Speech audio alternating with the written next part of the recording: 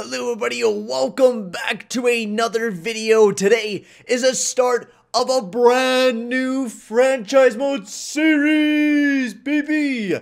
As today, we are taking over, as you guys probably already seen by the thumbnail, the Columbus Blue Jackets. You guys voted for this team a couple weeks ago, and uh, this is the official team that we're going to be taking over and trying to win a Stanley Cup for the first ever time in Columbus Blue Jackets uh, franchise history.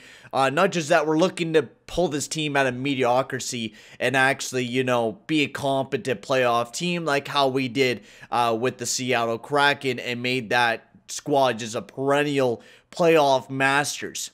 Now, with this series, uh, comes with a little bit of rules. Uh, you guys can scroll down in the description below. There'll be tons of rules. Of course, we're going to be keeping doing on the no movement clause and no trade clause. But with the no trade clause, there will be a new rule with that. We're only allowed to trade to four teams on that no trade clause list. And that means uh, those four teams are the top teams of each of the divisions from Pacific to Metro to any division. Has to be one of the top teams that we have to trade that certain player that has a no trade clause to.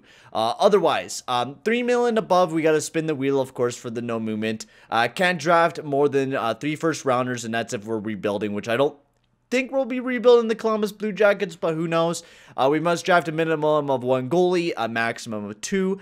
Uh, main roster must include three players over 30 years old, and the bottom six must be old third line players or fourth, uh, fourth line players. We can't have any, you know, second liners or first liners, kind of like what we were doing with the Seattle Kraken. We can't have any of those guys playing down in our depth. And also, we can't sign any free RFA over an 82 overall, uh, just so we don't get, you know, the freebies. And we must be $5 million above the salary cap as well. As you guys all know, the salary cap, it jumps up by like tremendous amounts each season.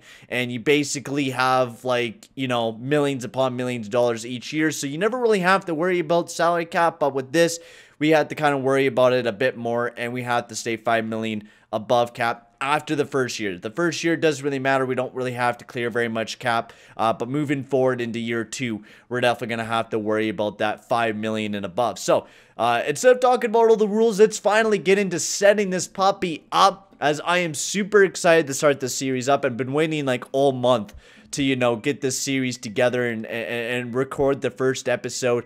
I, I I've been excited and I hope you guys are just as excited as I am uh, to start up this brand spanking new series. They set up Columbus, baby. So yeah, the top players, of course, is Oliver Bjorkstrand, an absolute amazing winger for the Columbus Blue Jackets, Laine, and of course, Zach Werenski as well. So uh, we got some guys that we're going to be building around uh, here in Columbus. Uh, of course, we're in the Metro Division, which will be the first ever time that we took, uh, we're taking uh, over a, a, Metro Division team. Um, we, we have done every other division but for the Metro, so I'm glad that we're we're able to do that. Uh, morale, computer trades, salary cap is on.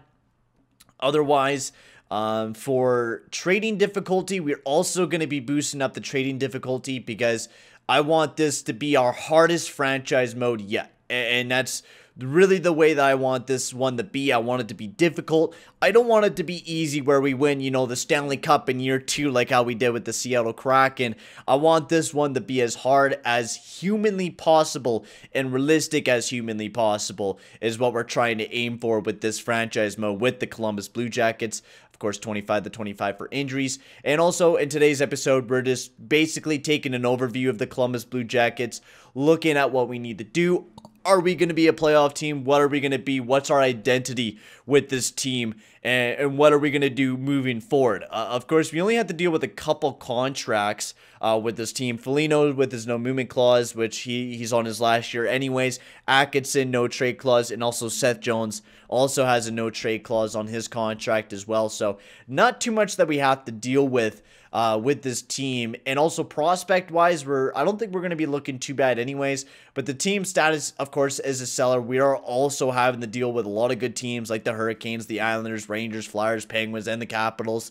So I mean, we're gonna have to play red hot uh, to be able to, you know, play better than most of those teams. So here are the are the the the Columbus Blue Jackets. I'm gonna have to get used to saying that. Of course, Laine, uh, I wasn't able to. I should have retained his contract a bit, but that doesn't matter anyways. He's on his last year anyways. Um, so maybe we sign a contract for him right off the get go before we get the season started. Might be the plan. Uh, you know, get Laine locked up because that is our future guy. Laine, without a doubt, is the future of this team without a doubt. And, and Oliver Bjorkstrand as well. This guy is a god defensively and goal scoring wise as well. This guy, I, am really, really excited to see what Bjorkstrand and Laine will do for the future of this squad. Um, otherwise, Max Domi, I know he's been struggling in real life, but I'm really excited to see what we can do. Maybe we can pull some untapped potential out of him. And also Jack Roslovic as well, which I think will be our one-two punch. Uh, Domi and Roslovic going into this year. Grigorenko, Texier, great prospect in him. Same with Bemstrom and also uh, Stenlin's good as well. But in the system uh, for prospects, we got uh, Foudy, uh, uh, Chinakhov. I think I forgot to um, make one guy, so maybe I have to do that in the next episode. I think I forgot to make one player for Columbus, so maybe we'll have to do that uh, and make them for the next episode. Uh, but that is the roster there for the Columbus Blue Jackets for the forwards.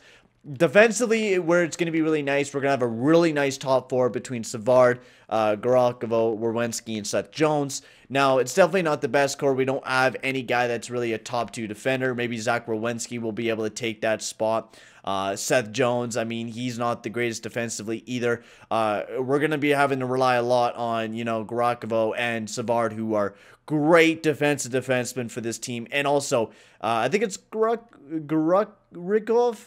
Uh, y'all have to tell me guys in the comment section below how to say his name, but um, he's going to be, I mean, this defense core is so young. I think we're going to have to keep it going moving forward, but maybe we trade away David Savard if the team is not going to be doing very well because we get a lot of nice young prospects that should be coming up uh, defensively uh, with Gabriel Carlsson and Andrew Peeke. And in goaltending wise, we got uh, Merzlikins and Korpisalo in the system. We got Tarasov. So not a bad looking team. I feel like this team though is missing, you know, that that all-star, that that all-star to be that that number one guy here for the Columbus Blue Jackets, and we just, you know, don't have it. You have Laine, who is going to be a, a, great future piece for this team, but, you know, moving forward, we need that guy to play alongside of him. Laine's not going to be able to carry this team to a playoffs. And what happens if he struggles? What happens if he doesn't score goals to the way that we want him to? Um, which will be a big question. Laine, you know, he's had questions over his career of being an inconsistent goal scorer. Uh, and that, that will definitely be a big problem moving forward. And hopefully, uh, we won't have to deal with that very much. So let's take a look at the lineups. Uh, let's uh, create them and see what we can really do with this team. I think going forward, um, I want I want that first line. Foligno, power forward. Um, you know, he's the captain of the team, playing alongside of Max Domi and Laine. Um, now, for the second line, will be the biggest issue because we might actually might not be able to do that. because, you know, the rule is we cannot play any second liners down in that depth. So we're going to have to play Foligno and we're going to have to do the lineup identical to that. Um, basically, unless we want Bjorkstrand up on the first line to do the Laine, Domi, Bjorkstrand, Atkinson, Roslovic, and Gustav Nyquist, Foligno. Uh, I want Jenner uh, up there with uh, Eric Robinson. Man, that could just be a physical, physical third line. And then uh, Texier, Stenlin, and Nash.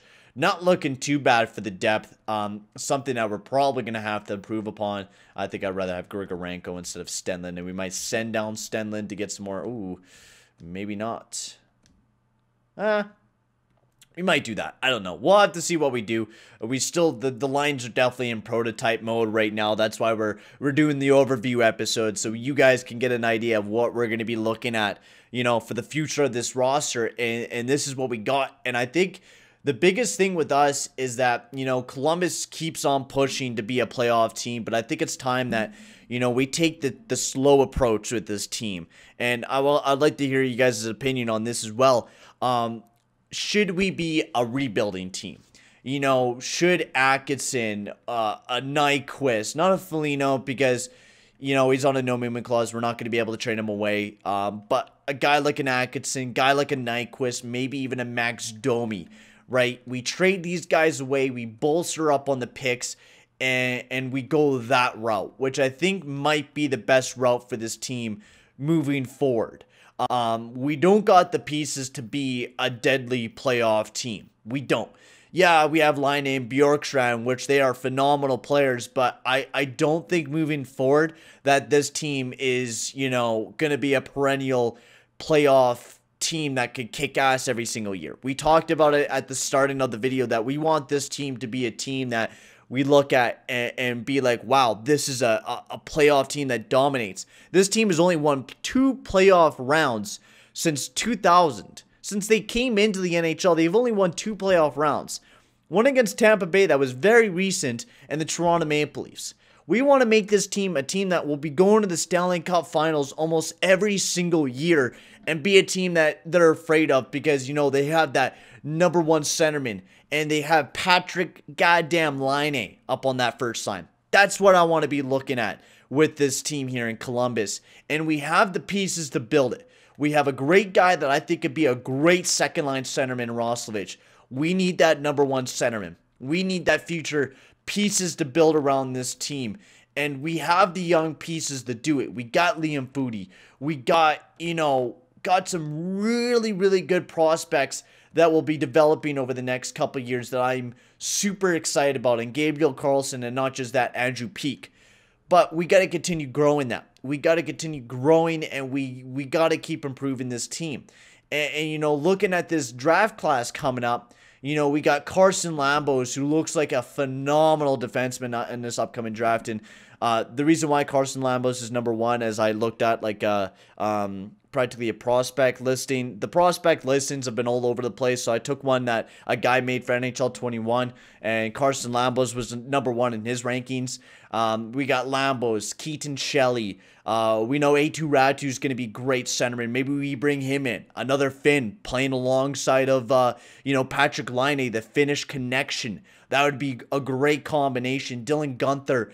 I mean, we got a lot of options that we could look at moving forward. You know, uh, the next couple years, there are going to be some really good drafts. And I think with the Columbus Blue Jackets, we really got to take this as a slow approach.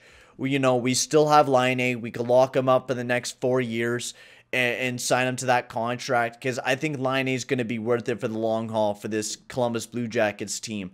Uh, we needed that future goal scorer, and, and Laine is going to be that guy. I think he's going to be that guy that brings in the fans, and that's what I want to do for this Columbus Blue Jackets crew. I want to have fans from all around. I want this team to be the next big thing here in uh, Ohio. All right, I want that cannon going off every damn playoff round that we're in and and I want to be the next big, you know, Cleveland Cavaliers, right? I want this team to be bringing in Stanley Cups and having huge parades there in Cleveland, Ohio, right? I want that for this team. And I believe that we could be bringing some future Stanley Cups to this team here in Columbus. So uh, I'm going to end the video here, guys, though. Uh, it's a very short one for you guys, but do not worry we're going to be having some very fun episodes coming up as uh, we're going to be starting the, the regular season in the next episode. I'm super, super excited to start this all up. Uh, but for right now, guys, I'm going to end the video here. Make sure to stop that subscribe button and hit that like button as well. And uh, I'll see you guys all in the next one. Adios, amigos.